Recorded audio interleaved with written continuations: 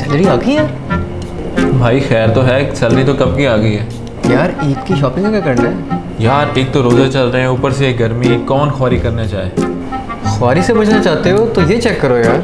तो अभी click mall पर आओ और अपने आप को खुआरी से बचाओ। अभी अपने मोबाइल से क्लिक मॉल की वेबसाइट पर जाएँ अपनी फेवरेट प्रोडक्ट को ऑर्डर करें दो से तीन दिनों में प्रोडक्ट को अपने डोर स्टेप पर पाएँ।